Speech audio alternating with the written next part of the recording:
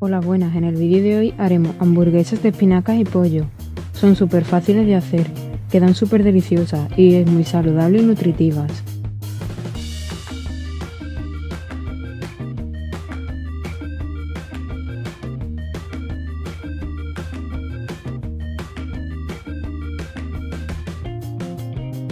Empezaremos pelando y cortando la cebolla.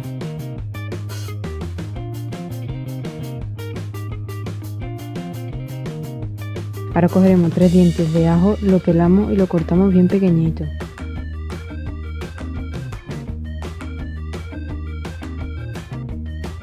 Una vez listo, cogemos y encendemos el fuego a fuego lento, ponemos una sartén, le añadimos un poquito de aceite de oliva y añadimos la cebolla y los tres dientes de ajo. Y dejaremos que se doren un poquito. Una vez listo, lo retiramos de fuego.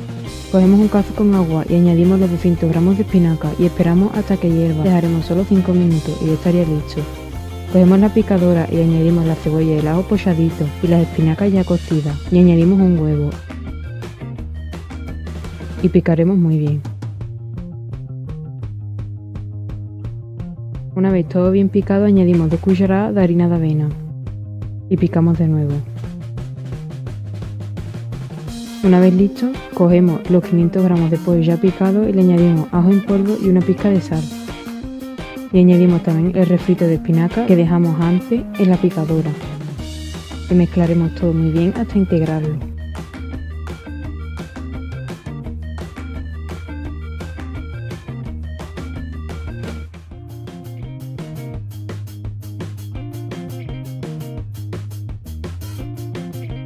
Una vez listo añadimos dos cucharadas más de harina de avena y mezclamos de nuevo.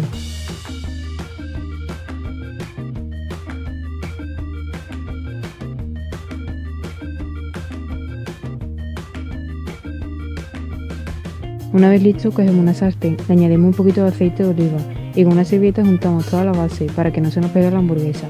Una vez lista cogemos unas bolitas y la añadimos a la sartén y le vamos dando forma redondita en forma de hamburguesa y la tapamos con una tapadera. Una vez que estén doraditas por un lado, le damos la vuelta.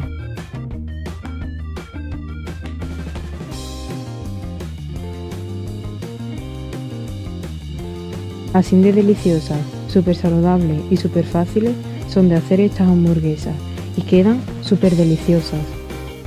Bueno, espero que les haya gustado el vídeo, suscribirse, darle manita arriba, comenta y abajo en la descripción os dejo también los ingredientes y activa la campanita para no perderos ningún vídeo mío de recetas deliciosas.